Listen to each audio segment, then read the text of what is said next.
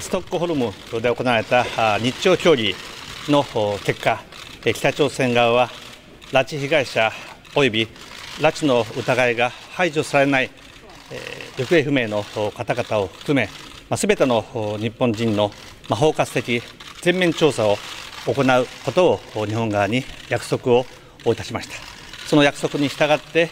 特別調査委員会が設置をされ、日本人拉致被害者の調査がスタートすることになります。安倍政権にとりまして、拉致問題の全面解決、